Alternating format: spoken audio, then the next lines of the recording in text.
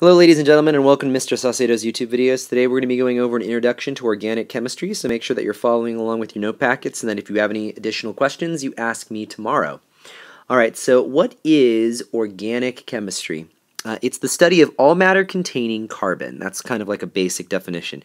There are some carbon containing compounds that aren't considered organic, but again, that's like a rarity. So anytime you see a carbon containing compound, it's most likely going to be considered organic. Well, let's talk a little bit about what makes carbon special compared to the other elements on the periodic table. So we've heard the term carbon-based life forms before, but why is carbon so essential to life? Well, it seems to be connected with the fact that it can form up to four covalent bonds with other atoms, but more importantly, with itself. So what does that mean? That means that carbon can bond to other carbon atoms. In fact, it can bond to four more carbon atoms. So every time you have a carbon atom in something, in sort of like a larger molecule, you can end up with, you know, even a larger molecule, presumably, by chemical reactions that cause car carbon to carbon bonds. And so this is one of the reasons why organic molecules tend to form such long chains and why living things are sort of, you know, an array of different carbon-containing compounds all linked up together. Because it seems as though once you have like, you know, sort of this bonding capability, you end up with these long chains of organic molecules that are the building blocks for life. So yeah, even though this is just, you know, a big chunk of weird graphite, which is, you know, an allotrope of carbon, um, it actually is sort of like something that can be used as a building block of life. So, what does organic actually mean?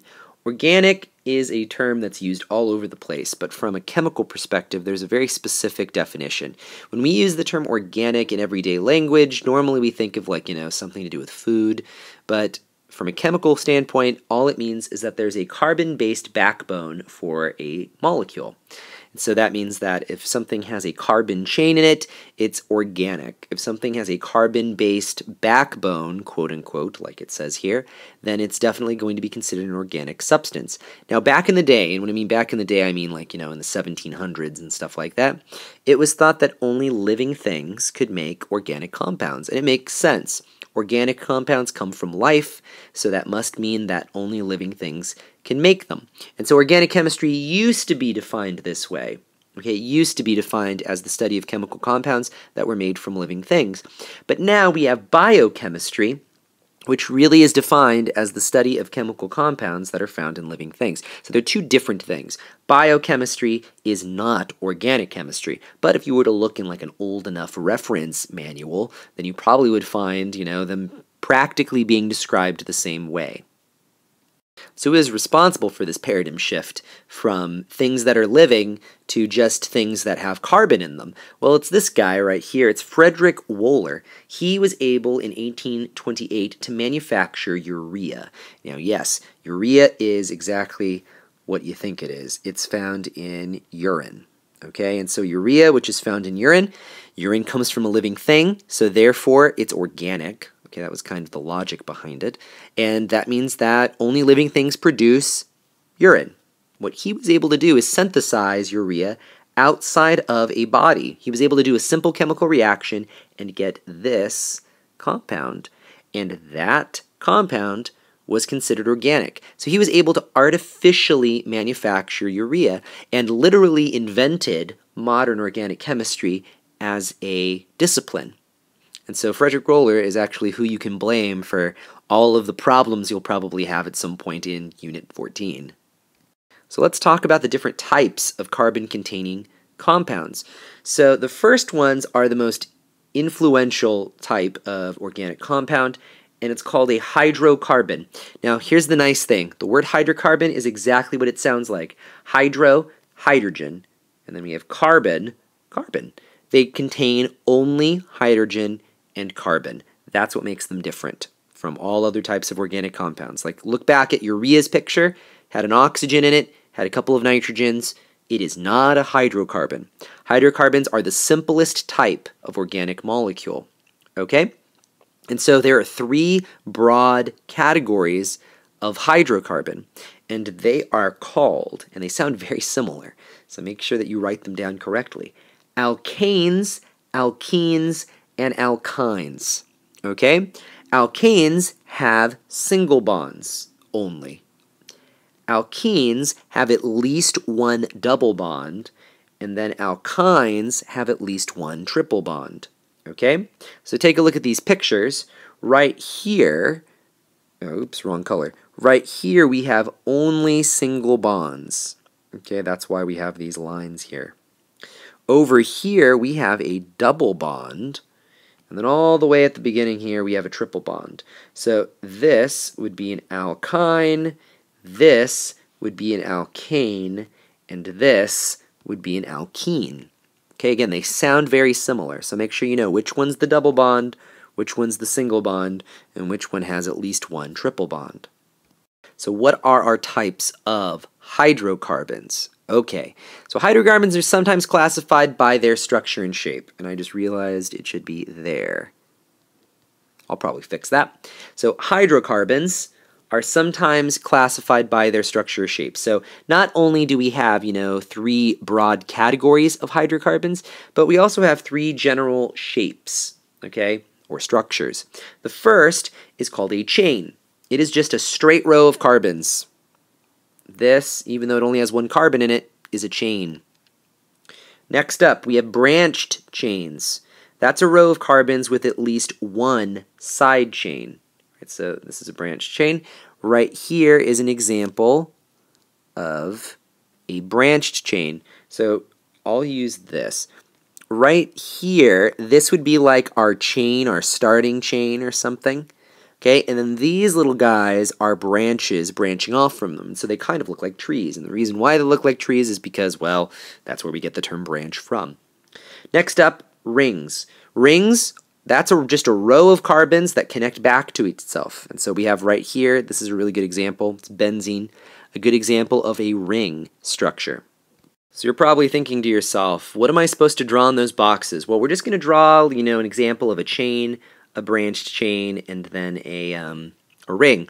So here's going to be our example of just a chain, okay? And so we're going to do CH3, CH2, CH3. This actually has a name. This is a structural formula for propane, which you may or may not have heard of before. If you've ever done any grilling, that's what propane looks like structurally.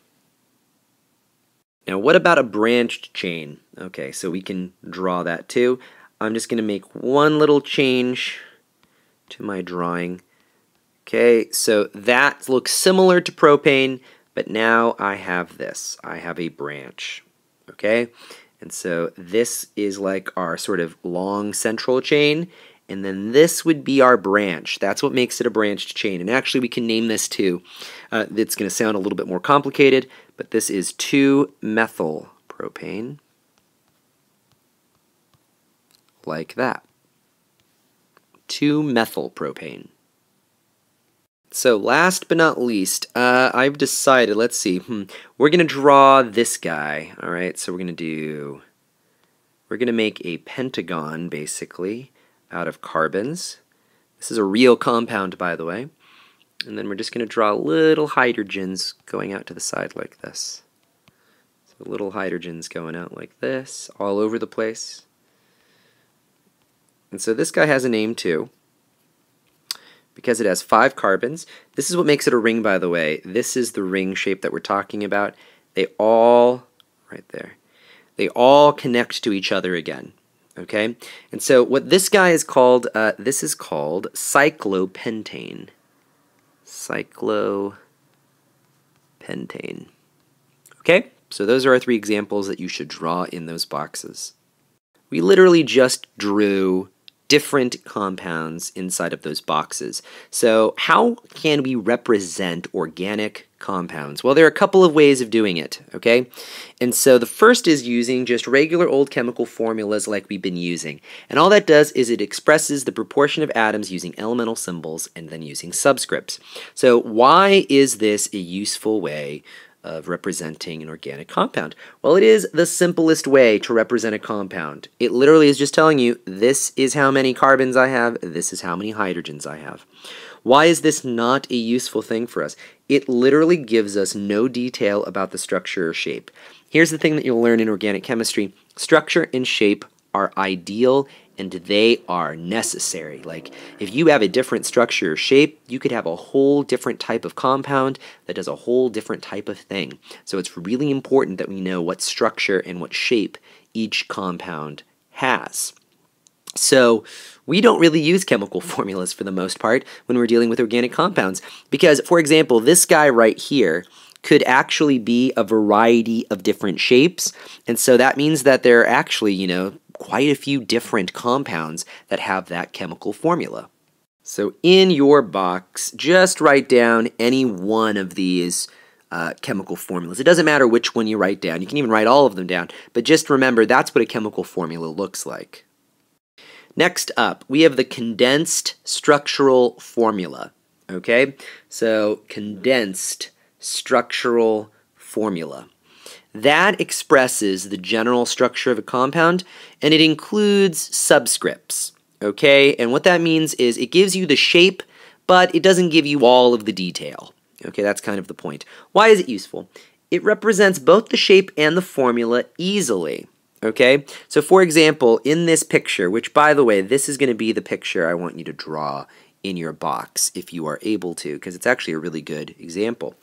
But this, this picture, I could find the chemical formula of this picture. And it's pretty easy. All I've got to do is just count all of the carbons I have. So I could do this. So I have one, two, three, four, five, six, seven, eight, nine. I have nine carbons. So that would be C9. Then all I'd have to do next is count my hydrogens. And I didn't actually make this diagram, but I'm kind of a stickler for structure, and I see a mistake. So I'm going to actually probably draw this in. All right, so there should be an H here, and there should also be an H here. But anyway, now we can count our hydrogens. So let's count those away. So we've got 3, 4, 5, 6, 7, 8, 9, 10, 11, 12, 13, 14, 15, 16, 17, 18. So I have C9H18. Okay, and that would be my chemical formula. And all I had to do was just count how many carbons and how many hydrogens I have. And the reason why I was able to do that so easily is because we have just subscripts here. Like, you know, so I have three hydrogens on this one. I have one hydrogen here. I have two hydrogens. I have one hydrogen. I have three hydrogens. I have two hydrogens. I have one. I have three. I have two. And all I have to do is add those all together. So condensed structural formulas are nice if we're interested still in the chemical formula of something. Now, why is this not useful? This amount of detail is not always required. That's something. Maybe, you know, there could be just a simpler way of drawing this that, you know, you don't need all that detail. And it doesn't show the placement of the hydrogen atoms. I just have subscripts for my hydrogen, so I really don't know what my hydrogens look like or what they're doing at all. Next up, we have structural formulas. So right here, structural formulas. That expresses the entire structure and shape of the molecule, okay, including the placement of every single hydrogen atom. Okay, why is this useful? This gives you the most detail of any type of formula. But why is it not useful? This amount of detail is also sometimes not always required, and it takes too long to draw out every single little hydrogen in a molecule. So in your box, draw this. This is the structural formula for propane. Okay, and so we drew pr propane already, okay, when we dealt with just, you know, oh, this is what a chain looks like. Compare that drawing to this drawing. Okay, this one takes way longer because we actually have to go in and draw every single little tiny hydrogen. Okay, and so sometimes people get annoyed by that, and so they don't like structural formulas as much. Finally, this is the easiest one, but sometimes it's also the most difficult one to figure out. It's called the line structure, and it's where you express the shape of a molecule using only lines. Why is this useful? This is the easiest way to convey the shape of a molecule. Why is it not useful? It gives you the least amount of detail. I don't know where my hydrogens are. I don't know how many of them I have. It's really, really difficult to try to actually get those, you know, sort of ideas from just a line structure. And so what you're going to draw for your line structure, hmm, draw this one. Draw just this, you know, array of what looks like kind of little hills. Here's the, here's the interesting part. Each like line segment here each dot that I'm putting, each point, that represents a carbon. So that's actually what this is. This is a long chain of carbons. Now you might say, why does it look like a whole bunch of bumps going up and down? When we actually build molecules, like, you know, propane and butane, we draw them frequently as just being flat, you know? So like, well, don't draw this, but you already have, so I guess that's okay. Uh, this is how we represented propane in our first drawing makes it look like it is literally just a straight line of carbons. But if you were to actually look at the molecule, the molecule actually looks like this. So you have one carbon down here, one carbon up here, one carbon down here. It actually has this sort of weird, almost pointy shape to it. And so line structure gives us that detail. Um, it gives us the shape, not detail, uh, but it also doesn't tell us a whole lot about the molecule. And that's literally it. So we're actually done and uh, be prepared for tomorrow because tomorrow we're going to go really deep into you know sort of how to write out a whole bunch of different um, organic compounds. If you have questions ask